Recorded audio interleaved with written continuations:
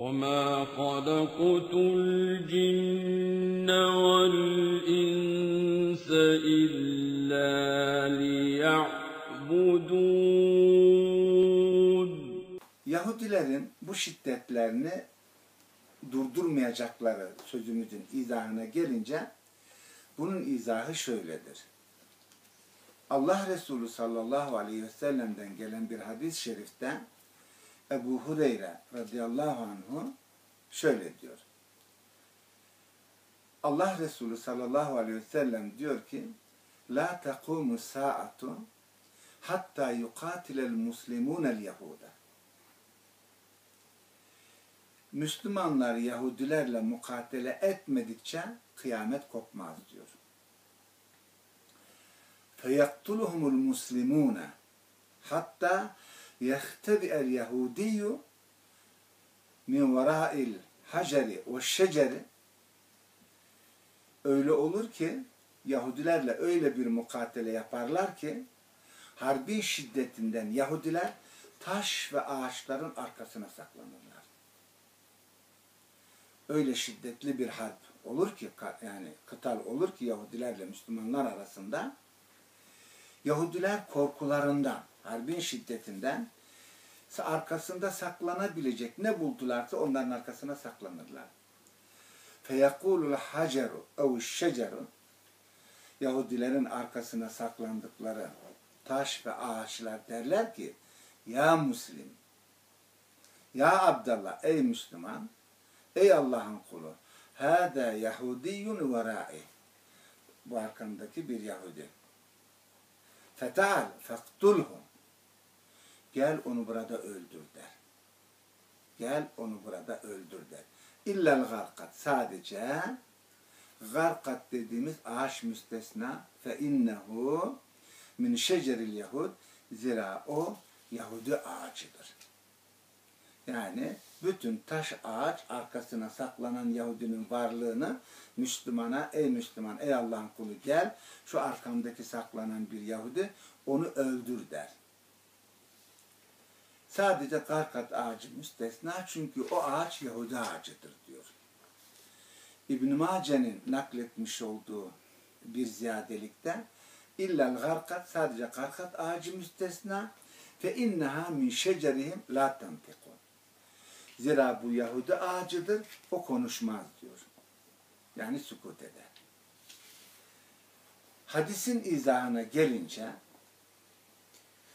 Allah Resulü sallallahu aleyhi ve sellem'in bu haberi Yahudilerle Müslümanlar arasındaki olacak büyük bir kıtalın haberini veriyor.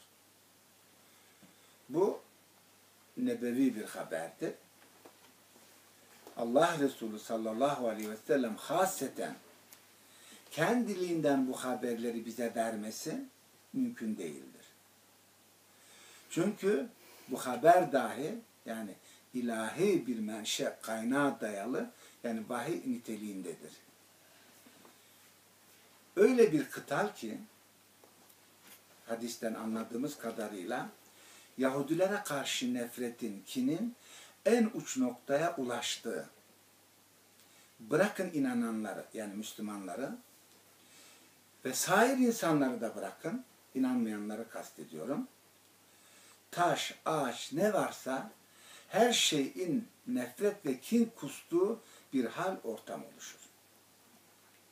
Çünkü taşın, ağacın arkasına saklanan bir Yahudinin varlığını Müslümana öldürmesi için haber vermesi taş, ağaç ne varsa insan dışında, inanan ve insan dışında hepsi bu nefretlerini ifade edeceklerdir. Demek ki Yahudiler öyle nefret edilecek işler yapacaklar ki artık taş ve ağaç dahi nefretini ifade etme zorunda kalacaklar. Tabi Yahudilerin bu Yahudiler bu katliama devam ettikçe ki edeceklerdir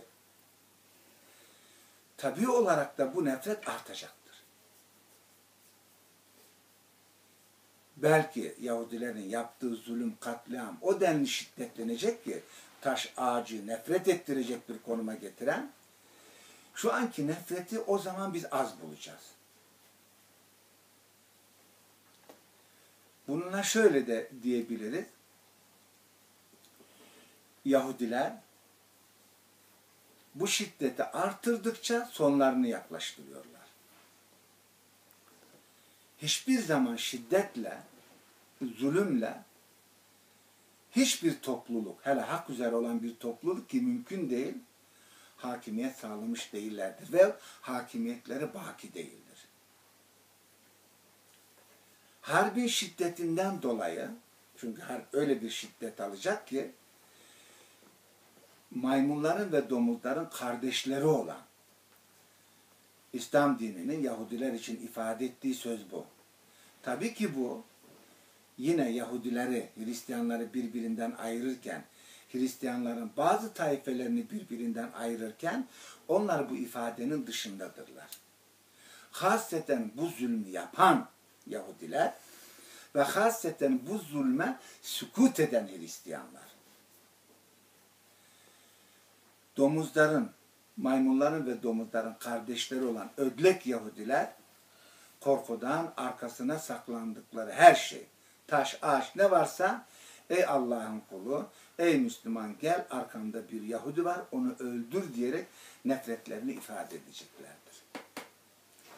Bunun için Yahudiler bu katliamlarını durdurmayıp daha da azgınlaştıracaklardır.